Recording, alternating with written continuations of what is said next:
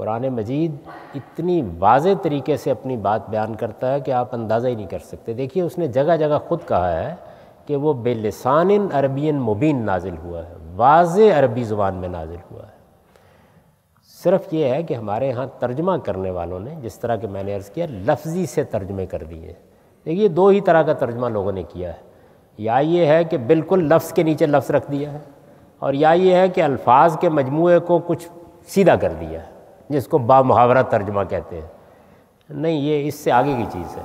आपको तर्जमा ऐसे करना चाहिए कि ये कुरान मजीद में अल्लाह ताला फरमा रहे हैं, अब आज की उर्दू में या आज की अंग्रेज़ी में मुझे वो बात समझ कर बयान करनी कि वो क्या कह रहे हैं। तर्जमा करने के लिए ये ज़रूरी है। इसके बगैर आप कुरान मजीद का कोई ज़िंदा तर्जमा नहीं कर सकते। वो फिर एक मुर्दा सी इबारत नीचे लिखी हुई होती।